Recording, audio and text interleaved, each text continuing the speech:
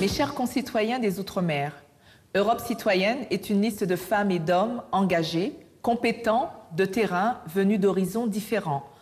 Nous sommes convaincus qu'il faille bâtir une Europe citoyenne, une Europe utile au service des citoyens, fondée sur une démocratie effective et vivante, qui place le progrès social et écologique, ainsi que la santé et le bonheur de chacun, au cœur du projet politique.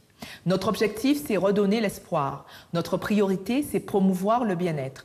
Notre exigence, c'est restaurer la confiance. Notre vision, c'est donner un nouveau souffle à l'Europe et aux Outre-mer. Notre credo, c'est agir pour l'intérêt général.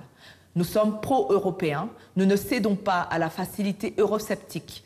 Lucides et critiques, nous n'hésitons pas à avancer des propositions parfois radicales.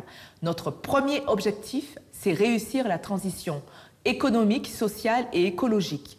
Nous proposons un plan Marshall européen pour les communes rurales, les TPE et Saint-Martin, un statut de travailleur européen qui ne concurrence pas la main-d'œuvre locale, l'optimisation de la consommation des fonds européens en annulant l'exigence du préfinancement et le rétablissement d'une concurrence saine et normale sur les marchés afin de lutter contre la vie chère. Notre deuxième objectif, c'est d'assurer la santé et le bien-être pour tous. Nous proposons l'interdiction de tout pesticide dangereux, tel que le chlordécone, dans l'agriculture afin de privilégier des solutions plus écologiques. La création de centres médicaux de proximité et une mutuelle européenne pour tous. Et enfin, la réduction de toute forme de pollution afin de protéger, préserver et valoriser notre biodiversité. Notre troisième objectif, c'est d'exiger l'éthique et la démocratie.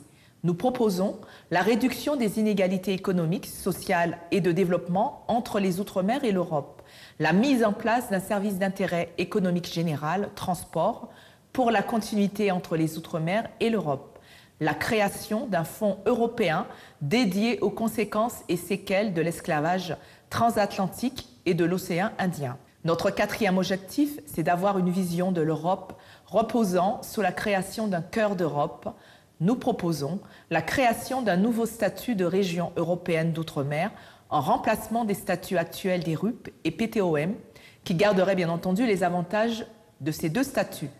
Et enfin, la division de la circonscription outre-mer en trois circonscriptions et l'augmentation du nombre de députés européens de 3 à 9 afin de permettre aux outre-mer d'être mieux représentés et défendus au Parlement européen.